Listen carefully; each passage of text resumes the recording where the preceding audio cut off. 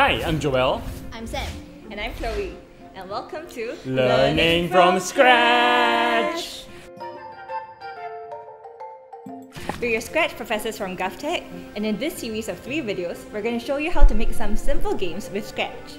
By the end of the three videos, if you have watched us very carefully, you'll have a maze game to share with your friends. And you can tell your friends that you made it yourself. Alright, let's get started.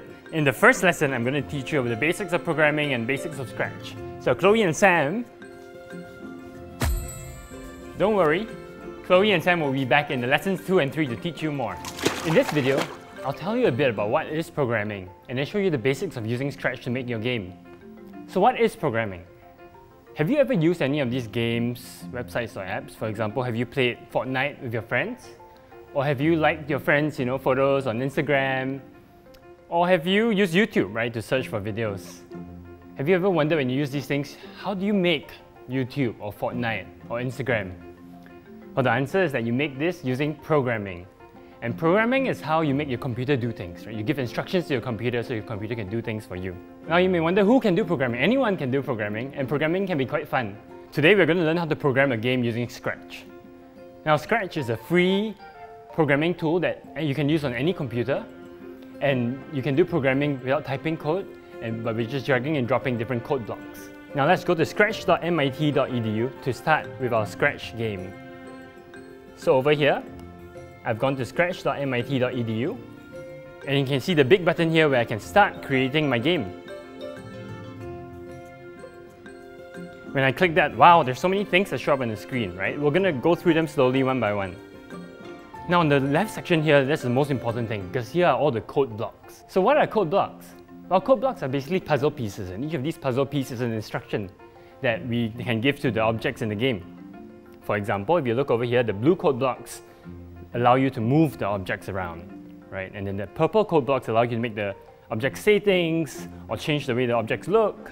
Other ones can help the object make different kinds of sounds. There are all sorts of code blocks, and these code blocks give you all the power of programming, but just by dragging and dropping. So let's start by making the cat move. How do we do that? We just drag this move code block over. There. Just drag and drop. It's as simple as that. But you notice the cat isn't moving yet, right? So how do we get the cat to start moving? Well, we need an event to start the code block and to trigger the code block to happen. And if you look at the top of the event section, over here in the yellow section, you can see the event titled When Green Flag is Clicked. Now the green flag is the button over here. And so that means when you click on the green flag, this code block will run. But the cat isn't moving yet, right? I'm clicking the green flag, but the cat isn't moving yet. Why is that? It's because I have to join this move 10 steps code block with the when green flag is clicked code block. And you look when I join it over like this, it means that when the first code block runs, then the second code block will run after that. So when I click the green flag, look, my cat moves 10 steps. And that's the first step of my game. Now next, I want the cat to say something. And so I go over to looks, which is the purple section over here. And I can drag the first code block, which says make the cat say hello for two seconds. And I can type something else in here. I can type hello, meow, I am a yellow cat. And so now when I click the, the green flag, the cat will move and then say what I typed.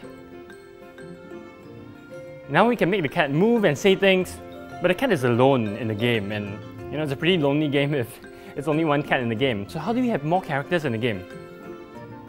That's where we have to learn about this thing called sprites. And if you look at the bottom right of the screen, this is where all the different sprites in the game are. So right now we only have one sprite, which is the cat. Sprites are basically images in the game that have a bit of code blocks attached to them.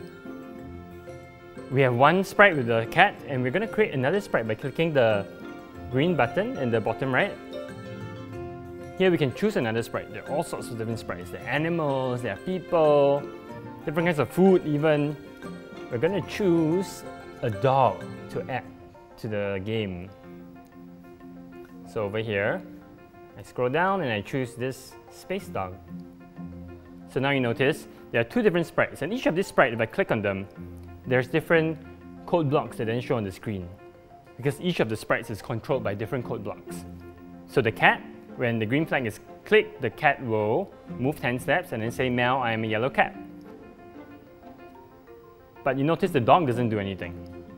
So how do we make the dog do things? We drag code blocks, just like we did with the cat, we drag over the code blocks. That will make the dog do things. So I want the dog to move, and I want the dog to also talk. I can even drag a sound to make the dog bark.